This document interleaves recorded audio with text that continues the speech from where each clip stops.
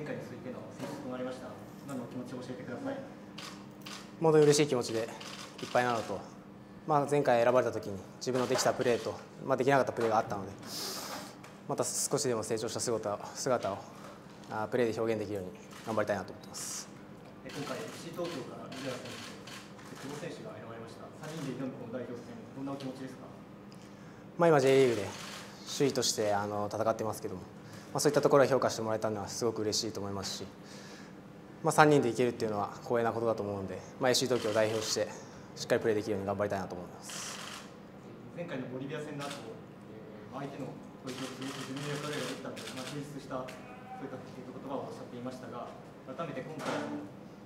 えー、代表戦の自分の役割求められているものっていうのは何でしょうか？まあ、自分の強みである、まあ、球際の強さだったり相手からボールを奪うっていうところは存分に出したいと思ってますし、まあ、多分それだけではなくプラスアルファで何ができるかっていうのはあの自分は日々努力しているところを見せたいなっていうのは思ってます。改めてですが、えー、今回の、えー、代表戦意気込みお願いします、えーまあ、ワールドカップ予選も近づいている中で、まあ、アピールのチャンスとして捉えているのであの自分の本当に良さをしっかり出して